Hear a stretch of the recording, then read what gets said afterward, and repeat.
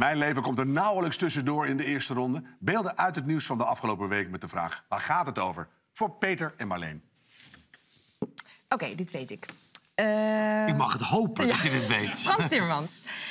Frans heet Timmermans, dat weet ik niet. Oké. Dat weet ik niet. Maar die is zich hier aan het voorbereiden. Hier, dit is Dylan Jezilgus van de VVD. Op hakken. Ja, in de- in- ook notie leed ze op een Ja. loopband. Kan toch helemaal niet? Ja, en eh, Pieter Omtzigt. Dit, dit zijn dus alle lijsttrekkers die overal te zien zijn nu en overal meedoen. Hier, dit is eh, Lilian Marijnissen van de SP. Hier, op mijn redactie, in de NOS. Dat was mijn redactie. Ja, dan weet je dat Ik ook. vind het een ongekend enthousiasme. het is ja, heel goed. Ja. En dit is het RTL-debat. Het was afgelopen zondag tussen deze drie. Oh, en hier gebeurde ook wel iets opmerkelijks. Dat was maandag. En toen mocht eh, Pieter Omtzigt zelf gaan invullen. Nou, dat ging allemaal heel snel. Ja. Je niet? Ja, ja, maar het is ook niet... het was even een, een fragment. Oké, ja, Ja. ja. precies. Maar je mag doorgaan met praten nu, hoor. Het is niet even zo... wat er gebeurde maandag, want ik ben nu ook benieuwd. Ja. Nou, Pieter Ja. was eh, bij Tubantia. En daar moest hij, mocht hij zelf gaan invullen wat hij dacht dat de uitslag zou worden. En toen had hij ze- eh, 27 voor- op eh, NSC-zetels en 27 voor de VVD. En toen werd hem gevraagd van, zou je dan een rechtse coalitie voor je zien? En toen kwam hij met toch wel een opmerkelijke coalitie... die er wel vrij snel uitkwam. En dat was VVD, NSC, BBB, en samen Ja21 en de SGP. Ja.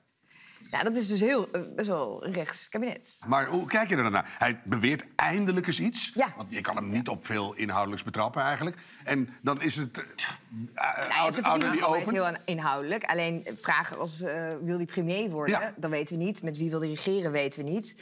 En hij heeft ook een soort coolness over zich als, als dat aan hem gevraagd wordt. Van, ja, eh, waarom vraag je dat nu eigenlijk? Ja. Nou ja, omdat het twee weken voor de verkiezing is en je heel Ja. hoog in de peilingen staat. Eh, maar goed, hij, ja, volgens mij ziet hij er gewoon niet over uit. Ik heb het idee, maar geef jouw mening er vooral over... dat ze proberen zo normale burger te doen. Ja, dat zeg En dat maakt mij zo gestoord hoe niet... Niemand vindt zichzelf een normale burger. Ja. Niemand, iedereen vindt zichzelf wel een klein beetje bijzonder. Ergens. Dat is gewoon niemand denkt, goh, wat ben ik toch tering doorsnee. Dat denkt helemaal niemand. Behalve politici in verkiezingstijd. Alleen maar, ik hoor u. Ik zit ook met dit probleem. Ik ben hem, ze willen zichzelf nog bijna niet opensnijden. Kijk, ik bloed ook. Ik Ja. bloed ook. Ik zou wel mooi vinden. Vrij diep ook bij sommigen. Een- ze willen hun menselijkheid laten zien. En op zich, kijk, ik ben nu een tijdje loop ik rond in Den Haag. En die menselijkheid zie je dus de hele tijd in het Kamergebouw. Weet je, waar je rondloopt. En Je hebt bijvoorbeeld eh, het debat dat gaat over het Kamergebouw. En dan zie je dus al die partijen en die zetten zich dan in voor bepaalde dingen. Bijvoorbeeld de Partij voor de Dieren zegt dan... ja, wij willen niet meer dat eh, eh, water uit eh, plastic bekertjes wordt gedronken... of koffie uit kartonnen bekertjes. Dan zegt de VVD, ik wil dat de tonic terugkomt op het menu. Want eh, wij vinden het heel lekker om een tonicje te drinken af en toe. Dan schenk ik de gin wel uit mijn handtas. erbij. Ja, inderdaad. Ja. Maar, en daar wordt een debat over gevoerd. En dan Farid Azarkan bijvoorbeeld. Ja. Die is eh, gek op appeltaart. Dus die, en die appeltaart ging uit het assortiment bij de koffiecorner. En die heeft toen daar in dat debat dus heel erg die, die Hoe hebben wij dit debat gemist met Ja, z'n allen? nou ja, dat we niet live zijn gegaan.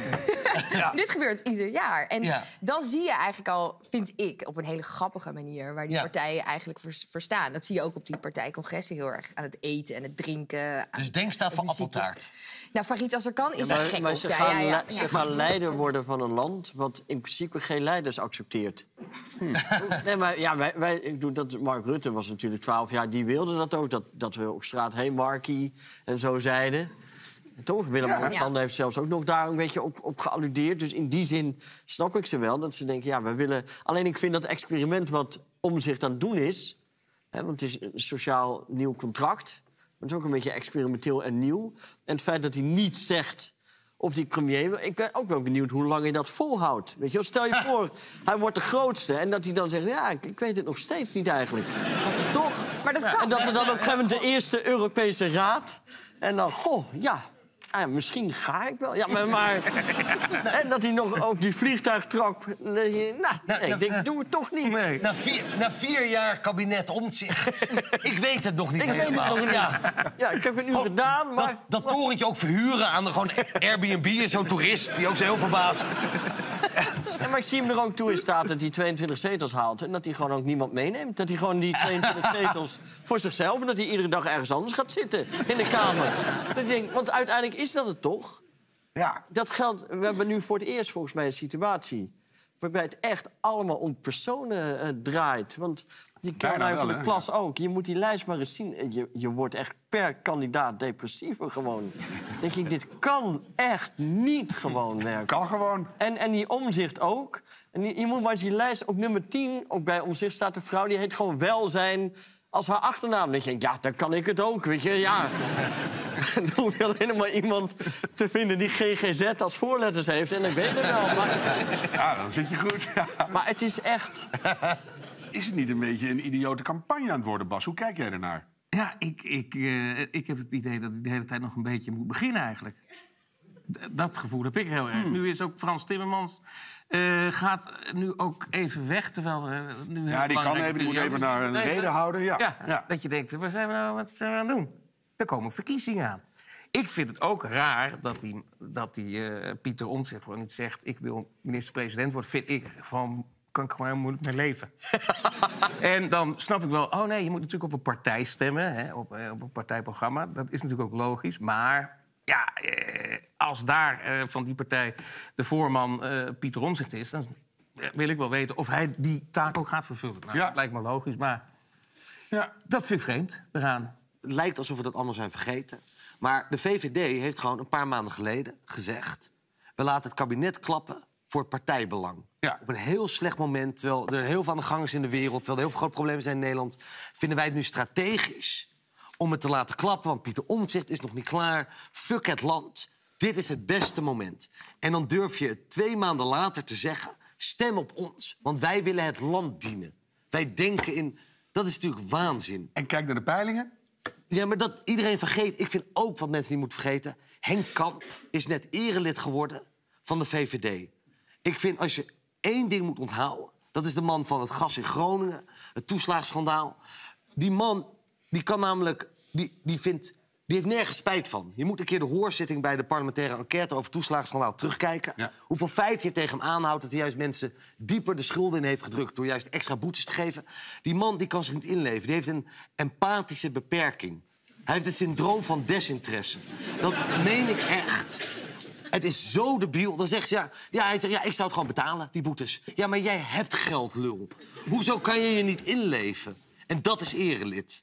Dat is wat de VVD is. Ja, dat vat het redelijk goed samen. Ja. Plus dat we, we leven gewoon in een realiteit van twee waanzinnige oorlogen die bezig zijn. Ja. Eentje aan de rand van Europa en eentje ja, iets daarbuiten... Ja. maar wat gewoon eigenlijk een intern conflict ook aan het worden is. En dan wordt werkelijk helemaal ook ja, één of twee keer in een debatje... wordt er iets over gedaan, maar dat, betekent nogal wat.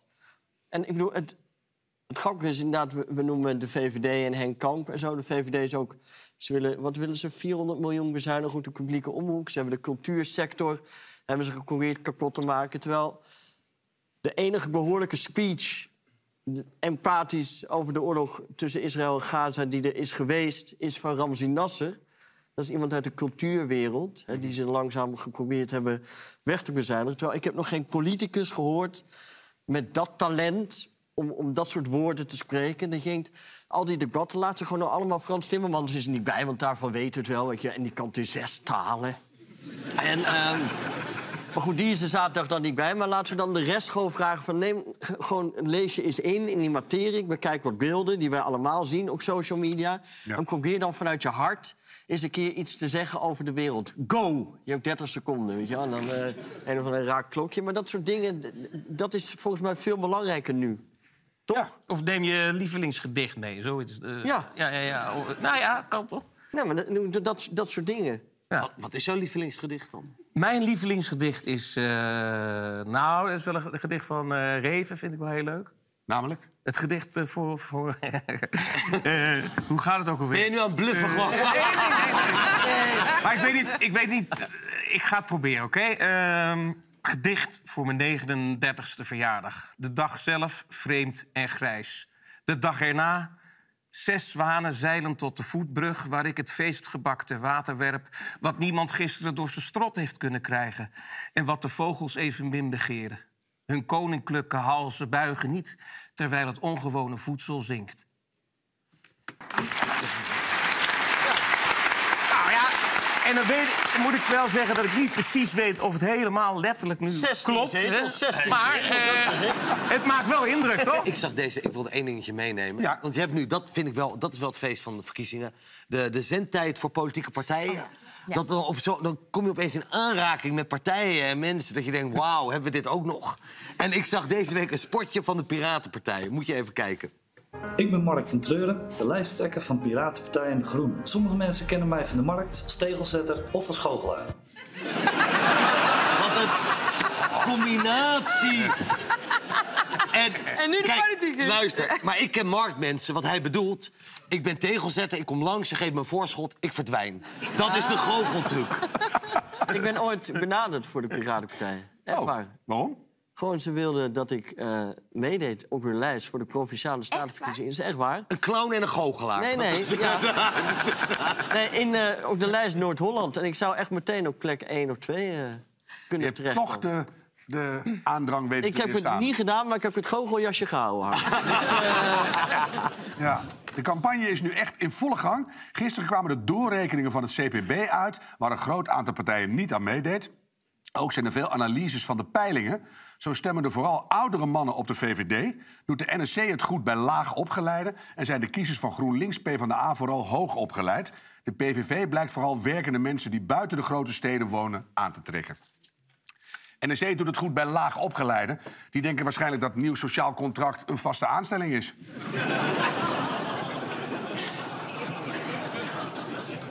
NRC doet het goed bij laag opgeleiden. De PVV vooral bij werkende mensen buiten de grote steden. De VVD doet het leuk bij mensen die als meervoud van euro euri gebruiken. De BBB scoort vooral bij mensen die als ze een kind krijgen... zo'n ooievaar op het raam plakken die door de ruit gevlogen lijkt te zijn. CDA gaat lekker bij mensen die cadeaus zo uitpakken... dat ze het inpakpapier later zelf ook nog eens kunnen gebruiken. Volt trekt vooral kiezers met een tatoeage van een Chinees teken... waarvan ze zelf ook niet precies weten wat het betekent. Op Forum voor Democratie stemmen voornamelijk mensen die al beginnen met eten... terwijl ze nog langs het buffet lopen. In jaar 21 moet het vooral hebben van kiezers met voornaam Joost en achternaam Eertmans. Ah, is die video nu al afgelopen? Voel je je leeg en wil je meer? Word lid, like en abonneer. Je leest gewoon voor.